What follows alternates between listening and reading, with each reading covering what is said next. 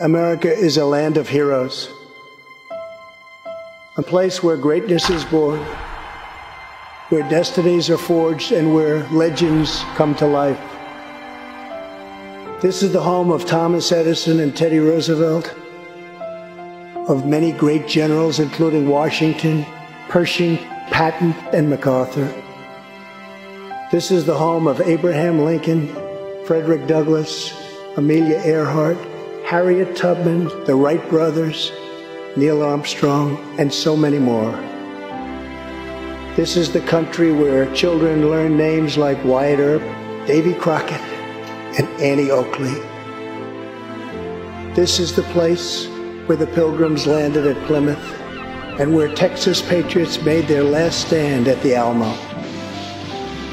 The American nation was carved out of the vast frontier by the toughest, strongest, fiercest, and most determined men and women ever to walk on the face of the earth.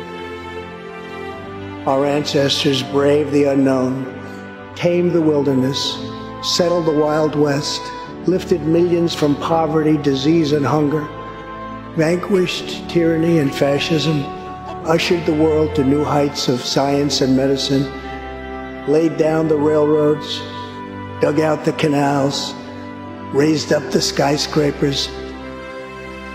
Our ancestors built the most exceptional republic ever to exist in all of human history, and we are making it greater than ever before.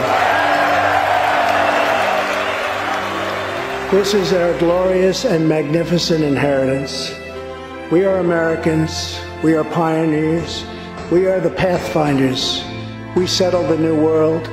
We built the modern world, and we change history forever by embracing the eternal truth that everyone is made equal by the hand of Almighty God. America is the place where anything can happen. America is the place where anyone can rise. And here, on this land, on this soil, on this continent, the most incredible dreams come true. This nation is our canvas, and this country is our masterpiece. We look at tomorrow and see unlimited frontiers just waiting to be explored. Our brightest discoveries are not yet known.